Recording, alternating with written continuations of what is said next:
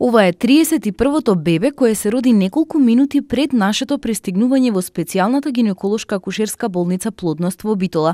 Со своите 2800 грама е во добра здравствена состојба и чека да си ја види мајка си. Но предходно ги посети своите цимери во неонатолошкиот дел каде ги запозна Катја и другарот кој се уште нема име. Од салите за оперативни зафати ја пречекавме пациентката врз која беше извршена стотата операција и беше сместена во одделот за интензивна нега каде бевме сведоци на средбата на штотуку роденото момче со својата мајка, која исто така непосредно по породувањето е во стабилна здравствена состојба. За само 7 недели ја направивме стотата операција. Имаме 31 раѓање и многу интервенции.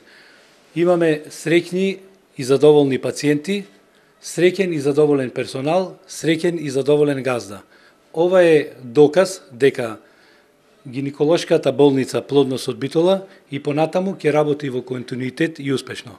Со употребата на најсовремената опрема и апаратура, најновите методи на породување како и нормалниот и царскиот рез, плодност секојдневно е со се поголем обем на работа, но за тимот која води болницата најважно било што пациентите од плодност заминуваат задоволни.